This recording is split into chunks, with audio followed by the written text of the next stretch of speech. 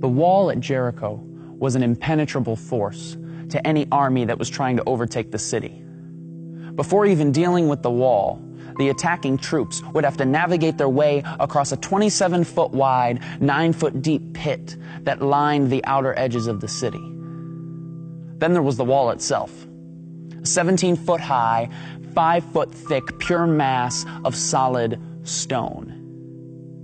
If the attacking army managed to get this far without being shot down by archers, all that was left was to defeat the well trained Canaanite army that was waiting within. This was the reality for a young leader named Joshua and his ragtag Israelite army.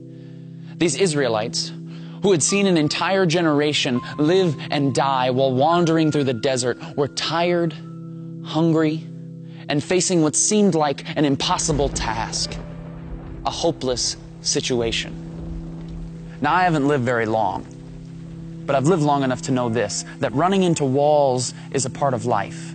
And the bigger the wall, the more hopeless the situation can seem. The large walls of sickness, loss, divorce, addiction, they pop up all around us and they seem impenetrable.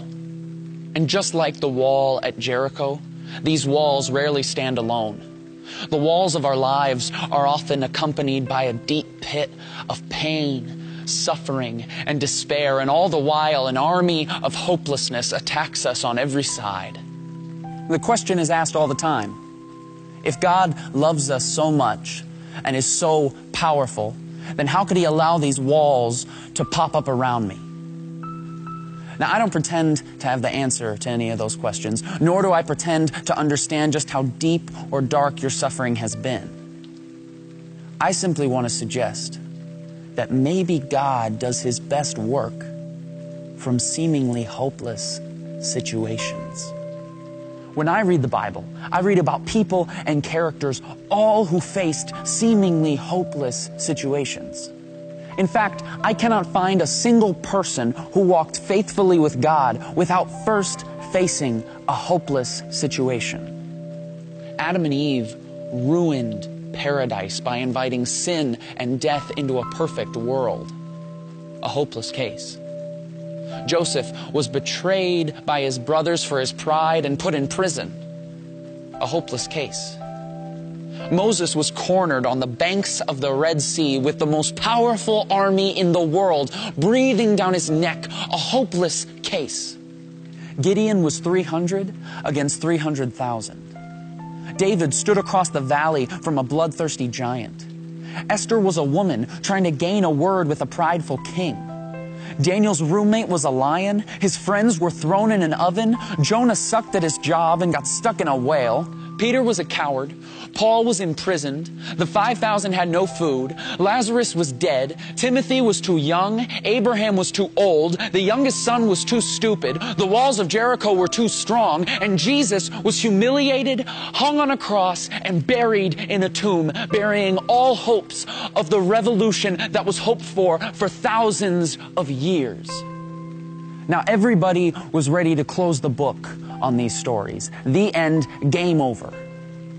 But if there's one thing we learn from the scriptures, it's that we can never place a period where God has placed a comma. Because when all other options have been worn out, when circumstances couldn't get worse, when everything else has failed, get ready because that is exactly where God shows up. Because Joseph became second in command. The Red Sea parted. Gideon won without lifting a weapon. Goliath's head was on a plate. Esther spoke and the king listened. Daniel tamed the lion. The oven felt like room temperature. Nineveh repented. Peter became the rock. Paul rejoiced. Twelve basketfuls were left over. Lazarus was just kidding. Timothy built a church. Abraham built a family. The youngest son came home to a party. The walls of Jericho came a tumbling down. And Jesus Christ pulled off the resurrection, defeating sin and death. And the creation that had been marred so many years ago was now restored for all time.